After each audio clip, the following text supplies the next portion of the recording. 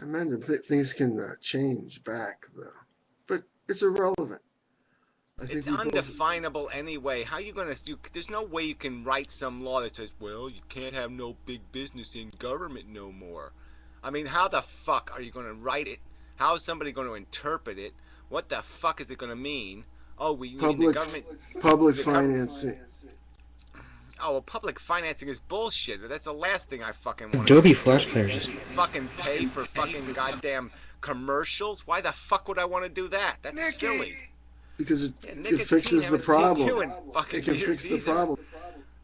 It's not going to fix nothing. Public financing of campaigns is bullshit. Right now, if people want to know what somebody believes, they can find out what they believe. And if the politicians were honest, they'd be right on fucking YouTube. You know, they'd be making fucking YouTube videos. If the goddamn politicians had any integrity, they'd be right here in Stickam right now saying, yeah. this is what I believe in, this is what I'm going to defend. But we don't demand that they do any of that shit. So why should I pay for a 20 second commercial, pay, pay CBS and NBC and ABC b- b- millions and millions of dollars, right, for 20 second commercials that just say, look, here's my fake family, here's my beard wife, um, you know, I really go out and fuck men in boys' rooms, you know. Well, I fuck boys in men's room, actually. Uh, but this is my fake life that I'm going to show to you. So there's my 20 second commercial. I didn't tell you anything about my politics. I didn't tell you anything about what the fuck I'm going to do. And you just paid for me to do nothing, to tell you nothing, but just to show you my fake wife and my fake fucking kids. Look at that. I know it's a system. It's a system. Fuck! Look at all these people. So we have to change the system. This Shut is up. the best Stickam night ever. Shut up! Yeah, I'm having the worst night ever. I'm gonna fall over. I'm literally gonna tip. I'm just gonna tip right over. There's something. The, the gyroscope inside my head is broken. Up the magic dragon. That'll calm you down. Yeah, well, something. you know, uh, insulin. I have to. I have to start taking insulin. That'd be cool though, but I can shoot it up. So that'd be fun. Or we could try rubbing our eyebrows together. That would generate a sort of quantum energy field. And I was just too have... fucking. I'm not talking about rubbing nobody's fucking eyebrows. It's going way, way in a direction I don't. That's the, like the breast milk thing. I ain't going there. Never again. Amanda, um, I think you don't understand that these politicians are all, all concerned about job security, right? That's that's the number one thing. Getting real. Oh, they couldn't give so a fuck. Need... Their job security. No, no, no.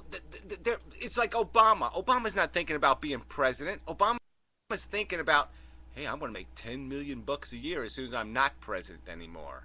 Clinton has made $10 million every year he's been out of the presidency. All right? I mean, they got, they've made $100 million since he stopped being president. I mean, politicians are just looking to feather a nest. And once the nest is built, they don't give a fuck anymore. And they'll they'll keep the job. because yeah, it's got nice perks, and you know they only got to work a couple of months a year. No big fucking deal. But they're not really that panicked about losing their job. But they compete for uh, cam- campaign financing. They compete for money for uh, advertisements on TV. Yeah, now, to get elected. So that's, that's right. That's, because they, that's the heart some of them will even spend their own money, which is even wackier. I mean, look at our the, the ex governor of our state spent like fifty million dollars. you know, to be governor. Why the fuck would you want to be a governor anyway? It's a shitty job. I mean, he goes from senator to governor. Why the fuck would you leave being a senator to be a stupid fucking governor. I mean, senators. I, don't know about that, but you think next about to Bloomberg. president, senators, the game. I always guessed governors became governors because they wanted to kill people. You know, have power over. You know, um, what's it called? At least, uh,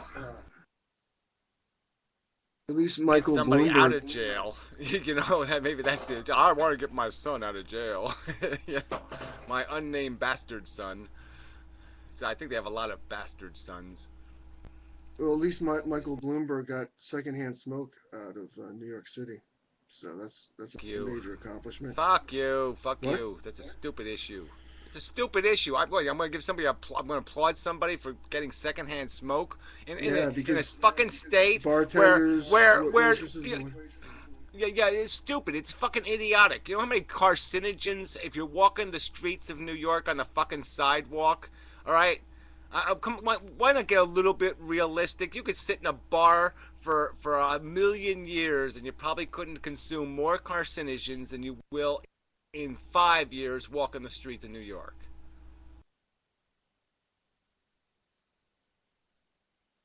Uh, Well, I I'd think like this is see that being sometimes why why people. Yeah, well, they have tested the air quality on on a city street in New York, and it's horrific. It's two packs a day smokers. What they've approximated the amount of particulates alone, just in particulates. All right, the So heavy you- so you carbon think that people you're inhaling. smoking cigarettes next to you is gonna is makes it any better? No, it makes it worse. No, it just makes it fucking irrelevant. Is what it makes it, you dumb fuck, and it just no, makes it a huge. irrelevant. In It's a why why why is this your business? No, no. Everybody lived with this cigarette thing. People had their fucking they had fires inside their fucking houses. You dumb moron. People lived for why it's my centuries with gas flame as their light. Okay, gas flames with black soot flying off of the gas flames, and that's how they lived for hundreds of years. And they weren't all whining around going. I can't breathe. I can't breathe. No, none of that shit happened. Somehow it wasn't a fucking issue. That doesn't happen till the end. Any happen till the end. Any. Well, it's just Now, fucking listen. retarded. I mean, fucking Listen. Benjamin Franklin inhaled and ate more goddamn crap, okay, than anybody. And what? He lived to be like fucking 90 years old, you dumb fucktard. Now you see, you're undoing some good that you could do here on YouTube on that ham because. Sorry. No, no, I'm not really worried. I'm not really worried about these You're not worried bullshit, fucking nonsense issues. That's right. Go, go ride a yellow air- submarine somewhere else. You're, go, you're leaving now. air- You're leaving. Get prepare. The yellow submarine is now departing. Here you go. Boom. you fucktard. Goddamn secondhand smoke, asshole, fuck shit. God, how can people worry about this bullshit? The whole fucking world's gonna be nuked in about three and a half years, and this asshole's worried about secondhand fucking smoke. Oh, shit. I guess you don't believe in third-hand smoke then either. Yeah, third hand. What is that? Is that it's like pregnant babies or some kind of bullshit? You gave my my my Jerry my my germinating hamster cancer. That'll be the next lawsuit, right? No, they say that um, cigarette smoke leaves a resin on stuff, and that resin combines with other chemicals in the air, and that creates cancer, carcinogens. Well, as long as you don't fucking vacuum, you're not gonna have no fucking problem. So just don't do, outlaw vacuum cleaners. There, everybody will be just fine then. Okay? If you don't fucking stir the shit up, then you ain't gonna fucking die. So just leave it on the ground where it belongs. Leave it on the shelf where it belongs. Don't stir it up. So let's outlaw vacuum cleaners. I'm all for it. But you're right about car exhaust being worse for people because baby strollers are like fucking the the height of an exhaust pipe. That's that does way more damage to babies than fucking cigarettes do. Yeah, well, it's a, it's a ton of particulates. Like I said, yeah, look at a car exhaust. Okay, I mean that's a that's a lot of exhaling going on there. Lots of exhaling. I mean, I'd have to exhale a lot of times to make as much exhale as a fucking car. All right, and it's really, really a ton of particulates it's shooting. You can see the exhale from a car, and you can smell it from like ten feet away. Don't forget, it's not just cars. There's fucking trucks and buses.